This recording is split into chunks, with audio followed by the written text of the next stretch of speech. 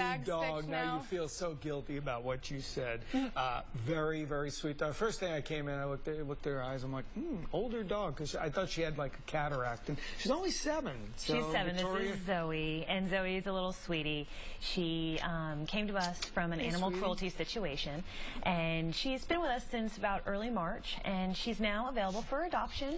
She is seven years old, about 11 pounds, and she's a little timid at first, but once she gets to know you, she Oh just no! Once you warms give up. her turkey jerky, she's the happiest person on this earth, right? now. Yes. And you said that there's a. Oh, I'm sorry, you heard the bag. And you you said there's a whole bunch more of these uh, dogs that look like Yeah, she there. came in with about 30 of her friends and family members. So, I mean, we we have a few for adoption. So, if Zoe happens not to be there when you get there, don't worry. There's a couple of others to choose from that are just as sweet.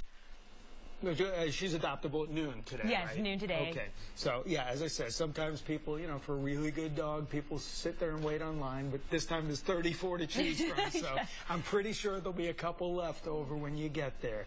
Uh, number for the SPCA: one eight eight eight animals. SPCA.org, and just type in Zoe, and you can see this dog and.